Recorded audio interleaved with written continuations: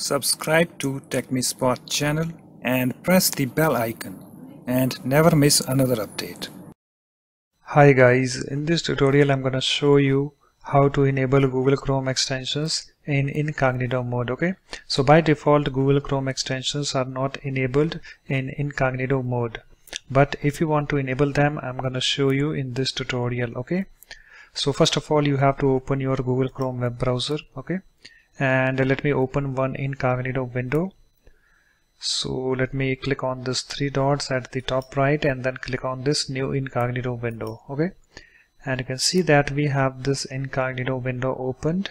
And you can see guys uh, I don't have any uh, Chrome extensions enabled in this uh, incognito window okay? So let's enable some extensions. So first of all let me close this incognito window okay and you can see that I'm in this normal uh, mode okay? So to enable them first of all we have to open extensions page okay? So for this go to this address bar and type chrome colon forward slash two times and then extensions okay? And after that hit enter key on the keyboard.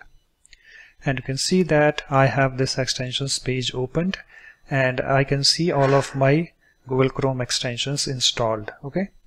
And guys you can also open this extensions page by using another method.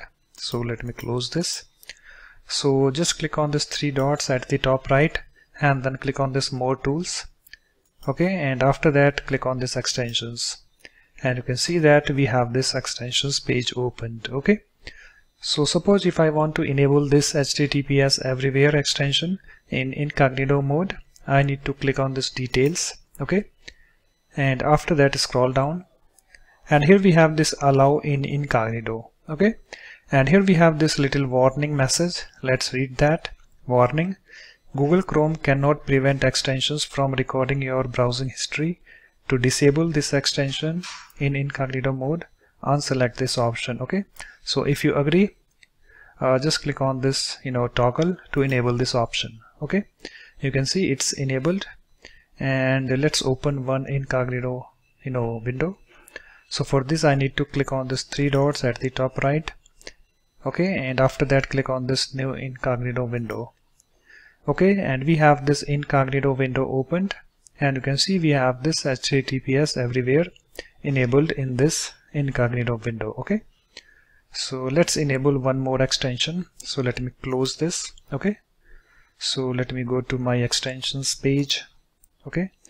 And let me enable this uh, clear cache extension in incognito window okay?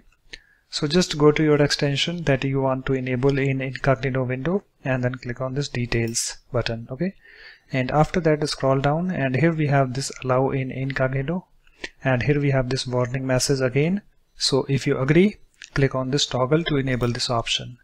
And you can see it's now enabled and let me open one incognito window again.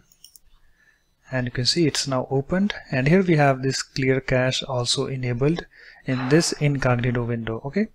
So guys that's it. In this way you can easily enable Google Chrome extensions in incognito mode. So thanks for watching. If you like my videos please support this channel by subscribing to it. Thanks. Bye bye